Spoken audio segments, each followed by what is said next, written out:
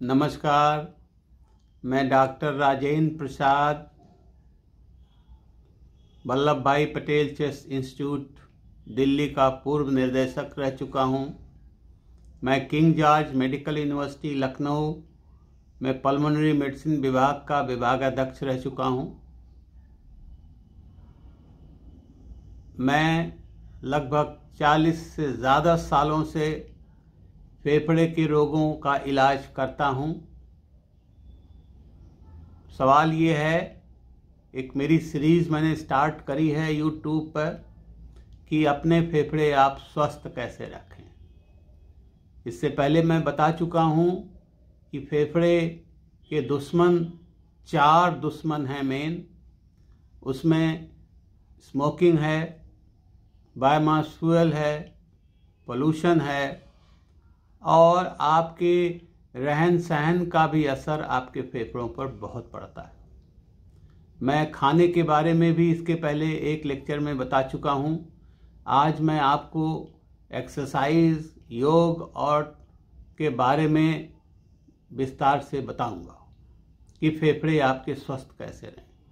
फेफड़ों को अगर आपको स्वस्थ रखना है तो आपको खाना तो ठीक खाना ही है ताज़ा खाना खाना है रेगुलर समय पर खाना खाना, उसके अलावा आपको एक्सरसाइज करना है। जैसे एक्सरसाइज पूरे शरीर को स्वस्थ रखती है हार्ट को स्वस्थ रखती है तो वो फेफड़े को भी स्वस्थ रख, स्वस्थ रखती है।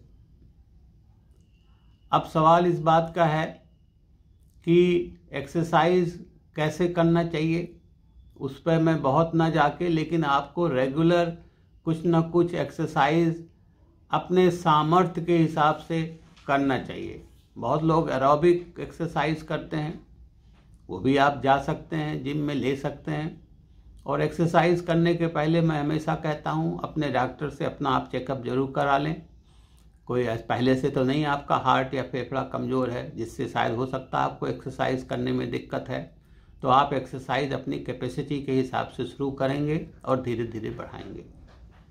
इसके अंदर एक्सरसाइज के अलावा योग का भी बहुत महत्व है। योग जैसा आप सब जानते हैं, योग एक काफ़ी डिसिप्लिन लाइफ आपको बिताता है, जीने का अंदाज देता है, जीवन जीने की कला है, जिसमें आप रेगुलर योग करते हैं। योग को हमेशा किसी ट्रेंड इंस्ट्रक्टर के साथ ही करना चाहिए शुरू में, और जब बाद में आपकी ट्रेनिंग हो जाए तो आपको स्वयं भी करना चाहिए।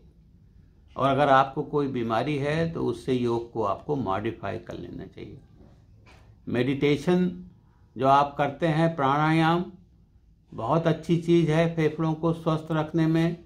आप किसी योग एक्सपर्ट से अपना मेडिटेशन सीखें और मेडिटेशन अपना करें। अगर इन सब चीज़ों एक्सरसाइज योग मेडिटेशन अगर आप करेंगे तो आपके फेफड़े पहले तो कमज़ोर नहीं होंगे। आपने सुना है कि योग और ये सब पहले तो आपको स्वस्थ रखने के लिए हैं। और बात सही है, अगर आप स्वस्थ रहेंगे तो आपके फेफड़े, हार्ट सब चीज़ स्वस्थ रहेंगे। बहुत बहुत धन्यवाद।